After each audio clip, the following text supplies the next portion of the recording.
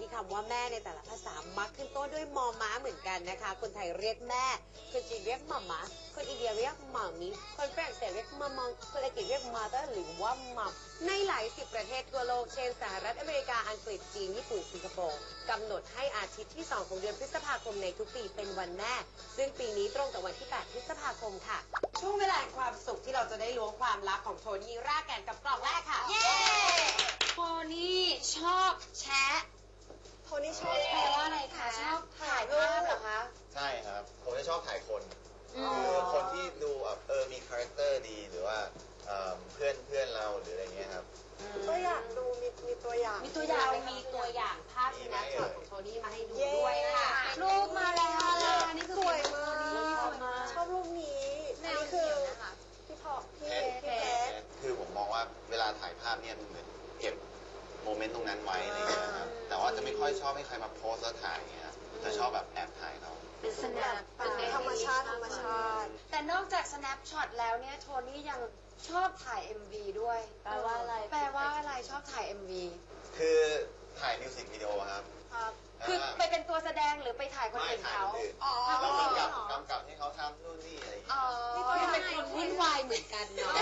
ถ้าอยู่ด้วยฉันคงต้องแบบแอบ แซงแซงสแนปละแซงแซงแซงสแนเอปออีกอะงั้นฝีมือโทนี่เป็นยังไง เดี๋ยวเราไปดูภาพกันดีกว่านั่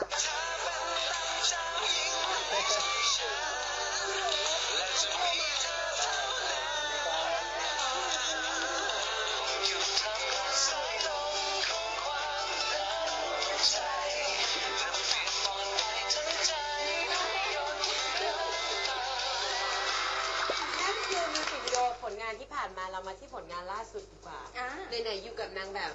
โอ้โหตายแล้วนางเอก MV สี่คนช่วงแล้ว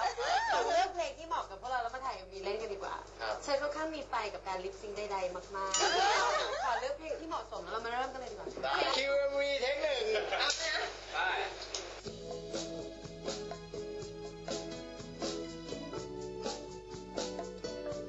จะเป็นตุ๊กตาหน้ารถบ นถนนแห่งความรัก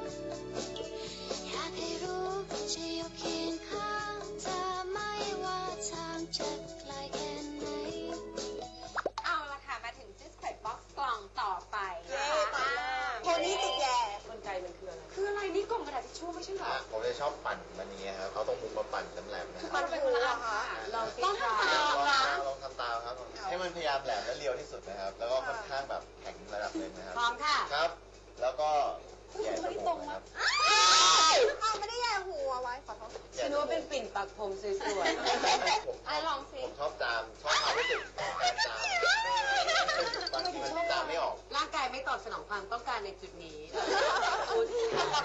กระตุ้นการจามได้ตลอดเวลา ไม่ไหวอะเข้าไปนิดเดียวก็คัน ผีมากเลย คุณโทนี่ดูมีความสุขผู้ชายคนนี้มีอะไรมากมายกว่าที่เรารู้ เพิ่งผ่านวันแม่มาอยากจะบอกอะไรลูกๆทางบ้านไหมคะ ครับคือไม่ว่าอะไรก็ตามเนี่ย การเป็นคนดีคือสิ่งที่สำคัญที่สุด เพราะว่ามันต้องไปถึงขั้นที่เราต้องปฏิบัตินะครับ ไม่ใช่ว่าแค่รู้ว่าเออต้องทำความดียังไงต้องทำด้วยครับนะครับ แล้วก็ใช้ชีวิตยังไงให้ให้เราเป็นคนดีได้ เนี่ยแหละคือเหตุผลที่เขาคือแขกรับเชิญของเราคุณโทนี่